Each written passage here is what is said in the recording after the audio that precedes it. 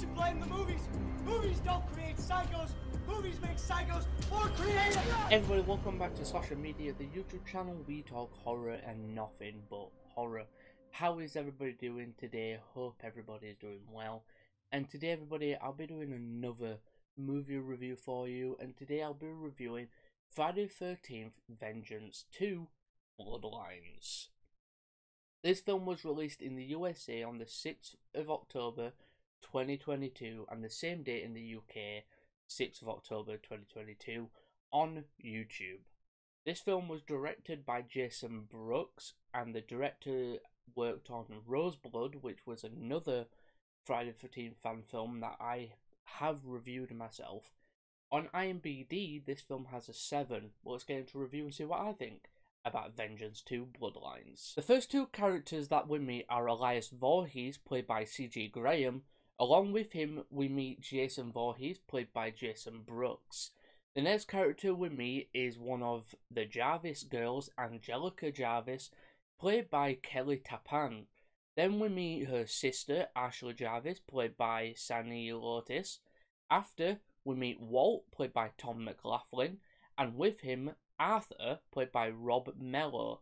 A lot later on in the movie, we meet Tommy Jarvis, played by Thom Mathews, who played Tommy in Jason Lives. The plot that IMDb gives for the movie is Elias Voorhees is back and has plans for his undead son Jason Voorhees that involves bringing an end to the Jarvis family once and for all. Yeah, this movie is even more brutal than the last one and just is amazing.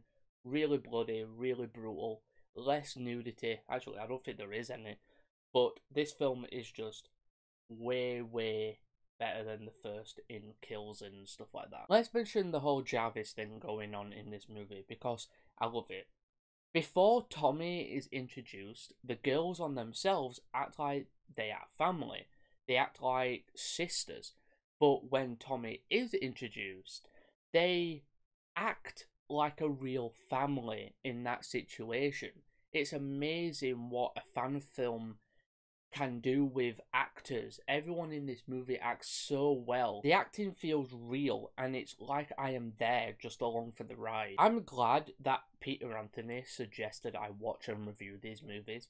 Uh, Vengeance takes the series into bold new ideas like the Jarvis family being the ones who got Jason dead and starting this whole thing, and the whole thing of Elias wanting to be- uh, to bring Jason's mother back to life, just great storytelling and amazing work from everybody involved. My favorite scene in the movie is with a car pileup.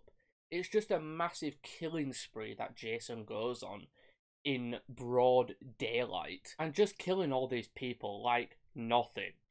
I don't think this has happened in the franchise before.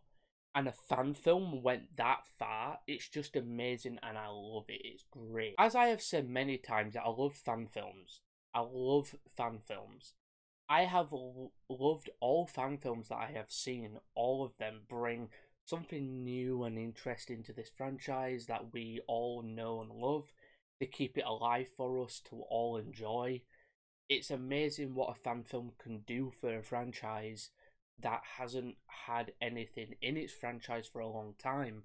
I know that we are getting a Crystal Lake TV show, but I'm hoping these fan films won't uh, discontinue. I hope we will see more fan films, even original movies from creators like Peter Anthony, Jason Brooks, and whoever else. I will be giving this movie a 10 I really love this movie. It's very well made, well directed, great acting, overall perfect 15th movie. As you know, I rarely give movies a 10, but I rate fan films differently because they are not theatrical released movies made by an official company.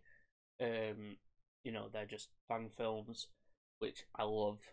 And yeah, I rate them differently. I rate them as fan films but I'm giving this a 10.